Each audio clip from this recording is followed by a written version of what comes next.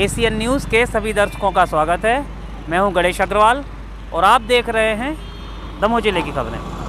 नगर पंचायत अध्यक्ष पथरिया के साथ अन्य लोगों के द्वारा जिला कलेक्ट्रेट कार्यालय पहुँच करके एक ज्ञापन सौंपा गया।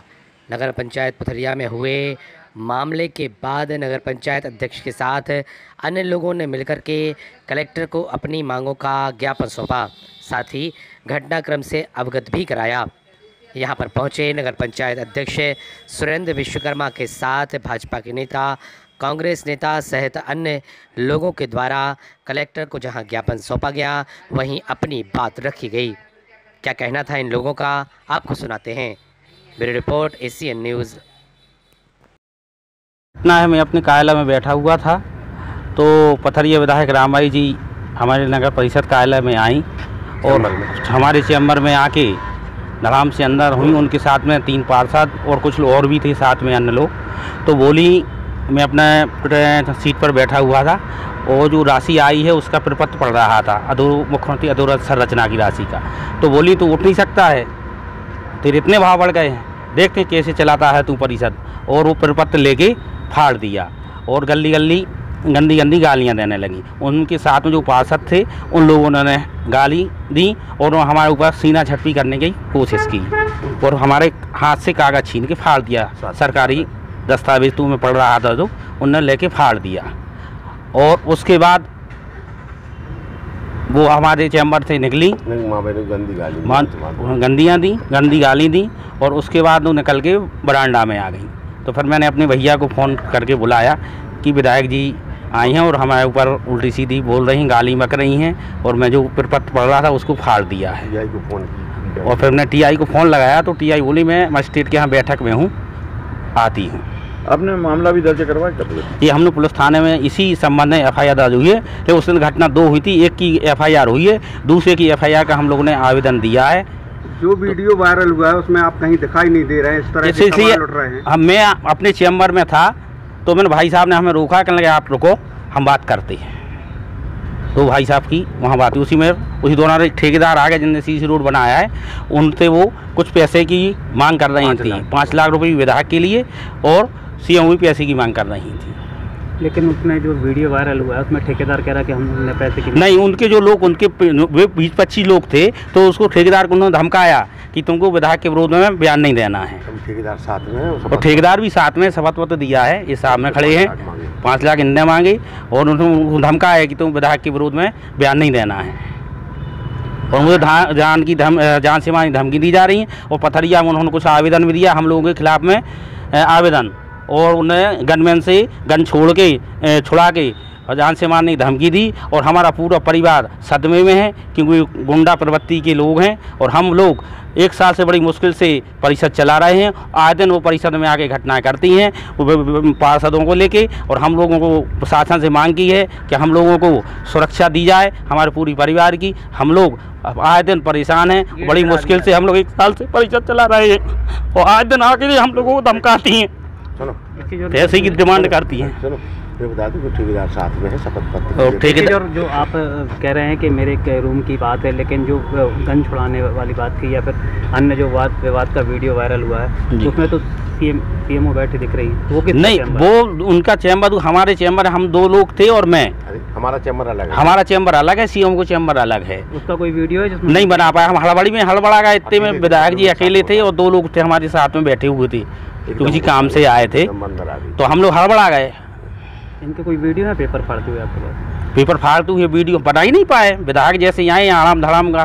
बिल्कुल सीना झपटी गई हम तो पक्का पक्का भूल गए। कोई सीसीटीवी लगे हैं वहाँ पे? सीसीटीवी लगे लेकिन वो बंद है माना बिगड़े हुए हैं। इस तरह की चर्चा है कि ये झूठी रिपोर्ट की नहीं बिल्कुल झूठी रिपोर्ट नहीं है।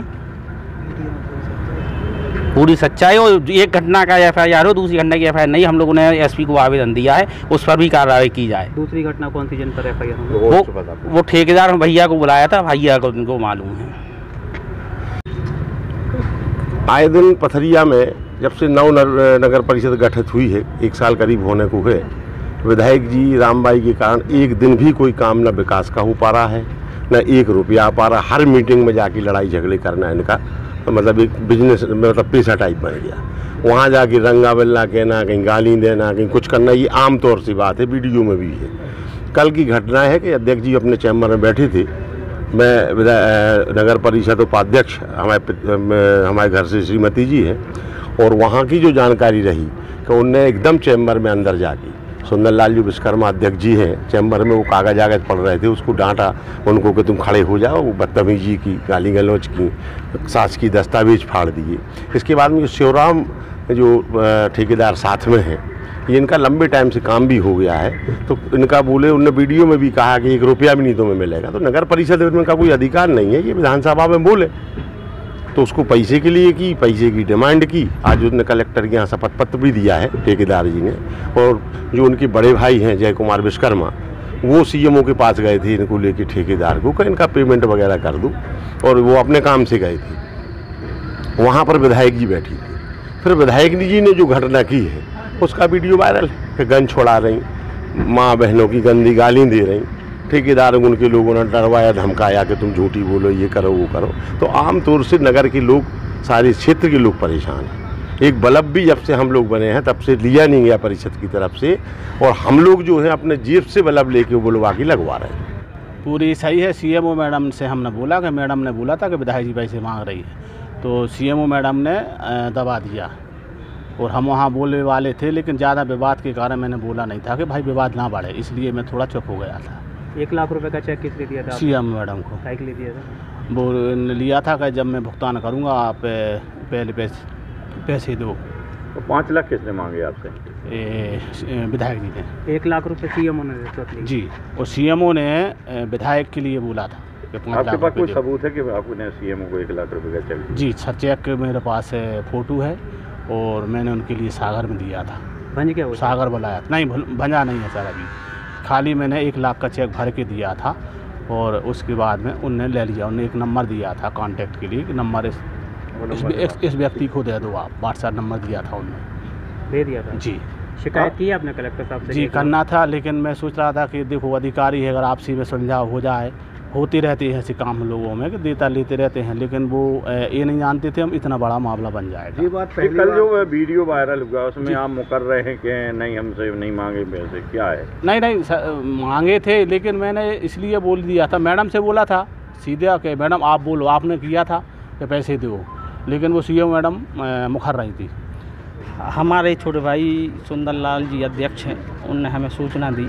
कि हमारे साथ विधायक जी ने अभद्रता दी और बुरी बुरी गालियाँ दी और सास की दस्तावेज़ फाड़े और मेरी जान को खतरा है आप आ जाएँ। तो अ, मैं स्कूल से आया था मैं जल्दी से पहुँचा हूँ।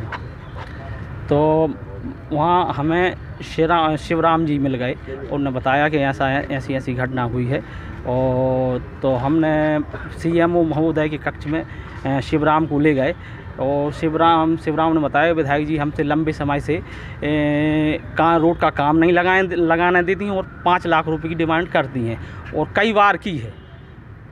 तो वहाँ विधायक चूँकि उपस्थित थी तो विधायक जी विधायक जी से हमने सामने कहा कि आप ने इनसे पाँच लाख रुपए किस मांग, किस के मांग रहा है, किस काम के मांग रही तो विधायक जी ने कहा कि कौन कर रहा है? तो हमने बुलाया शिवराम को। तो उन, चूँकि वो लोग बहुत थे, हम लोग दो लोग थे तो शिवराम ने डर के कारण शायद ये बात नहीं कही है कि पाँच लाख जमाए लेकिन शिवराम ने हमसे कहा था कि विधायक ने हमसे पर्सनल पाँच लाख रुपए मांगे हैं।